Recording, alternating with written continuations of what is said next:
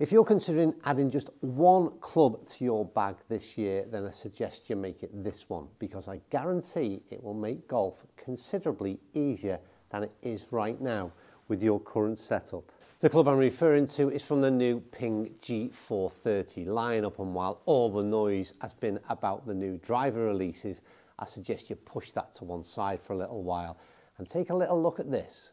If you put this club in your bag, I guarantee it's a type of club that all your mates are all of a sudden going to start inquiring what that is that you have in your bag.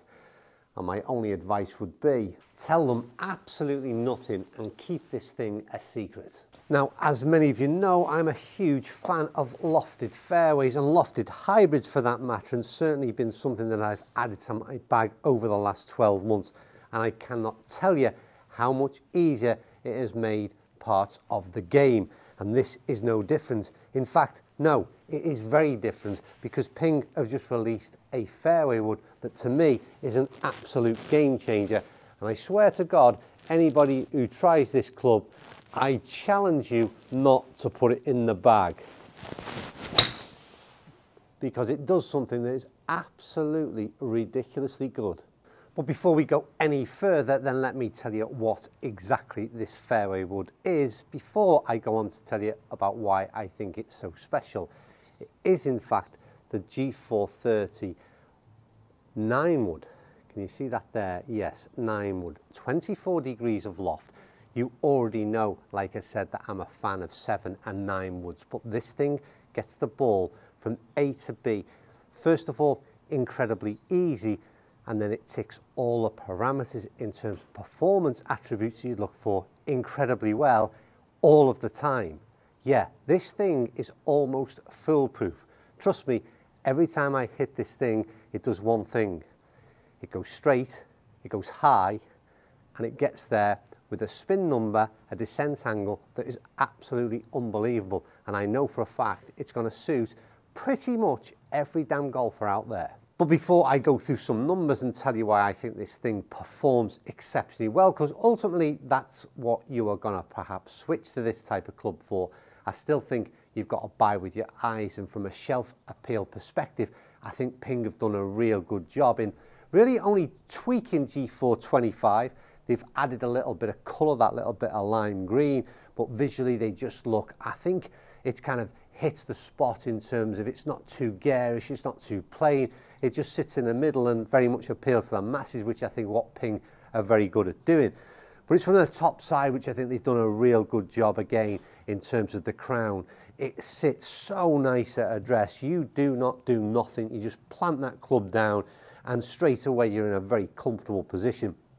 It sits quite shallow, which is something I like about what Ping have always done with their fairway woods. And then the scoring lines again across the club face really frame the ball well. So you've got this void in the middle, white either side, and it just tells you exactly where your ball position should be in terms of centre of the club face. And that single dot on the crown again is a perfect alignment aid. So simplicity at its best.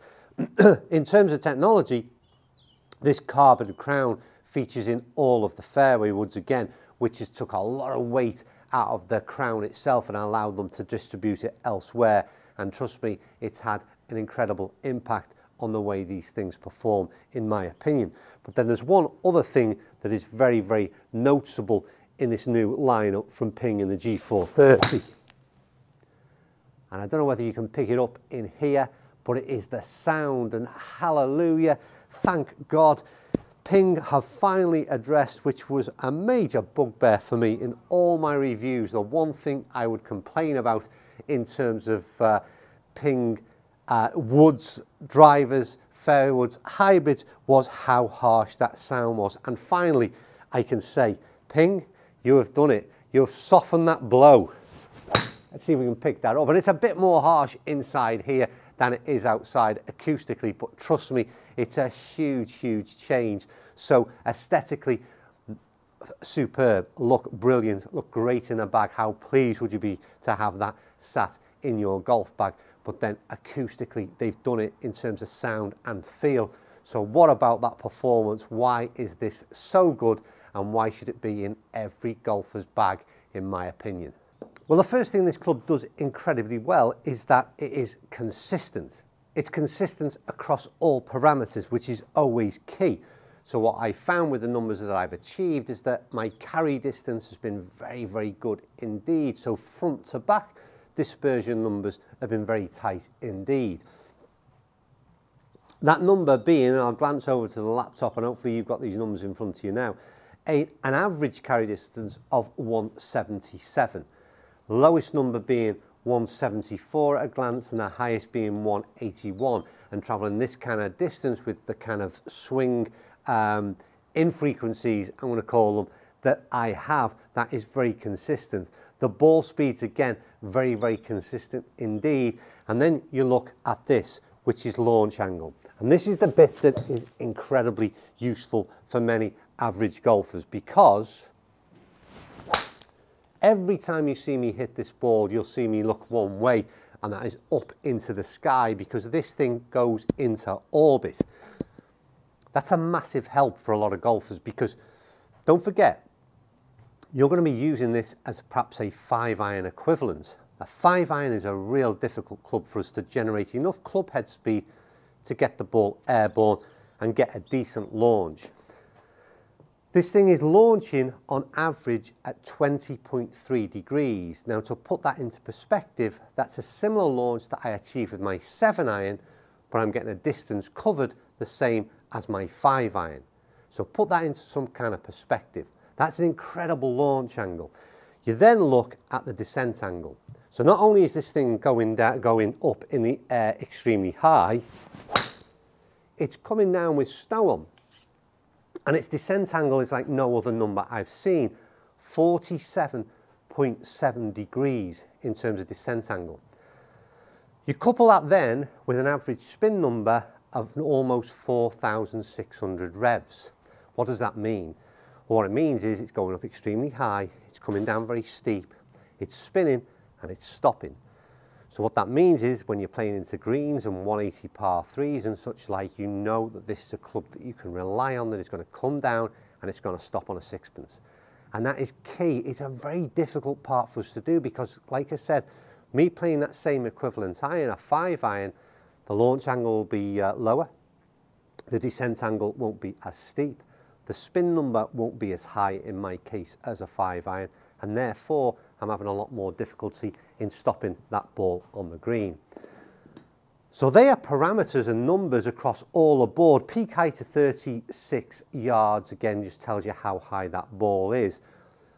These are the kind of numbers that tell you that this club is an absolute no-brainer. Why would I possibly put a five iron in the bag?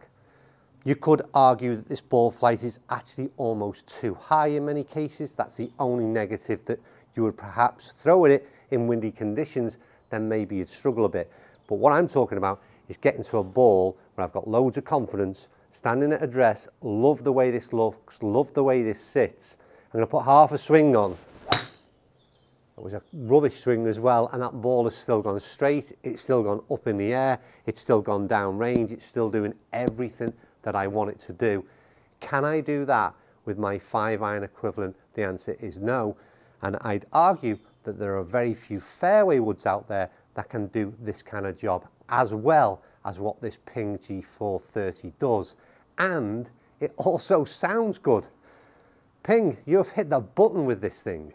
Now it's very easy for me to drag this one out, but I think we've said enough, I think we've shown enough, and I think it's demonstrated purely why I think this is uh, a club that you should try, then I think you should keep it a secret from your pals because don't let them in on this. The other point to mention is just how much variety there is in the fairway woods open you from Ping this year in that G430 lineup. So if the 9 wood doesn't fit that void in the bag, then I would think you'd have a look at the 5, the 7 wood equivalents. And again, give them a try because uh, if the performance of this is anything to go by, then I think they've got a winning lineup. As ever, Ping do this incredibly well. Right, that's me done. I thoroughly enjoyed just hitting them few balls with this this morning. It's, uh, like I said, so, so good, this thing. Um, what I want to know is this. Um, in certain parts of the world, this club has been out for quite some time, which is a little unfair. But if you've one of those countries and you've tried this club, then please let me know what your thoughts are. And uh, from Anybody else that's thinking of adding a club to the bag this year, then let me know if you think this might be something you would consider adding and uh, are you going to give it a try. Right, for now, thank you for watching. I'm glancing around to see what's next because I'm so confused. that There are that many clubs that I'm trying right now. Uh, but no doubt I've got another video coming to you tomorrow night. So make sure you're subscribed, make sure you're hitting that like button, make sure you're getting involved in those comments. Thanks as ever for watching and I'll see you all tomorrow night.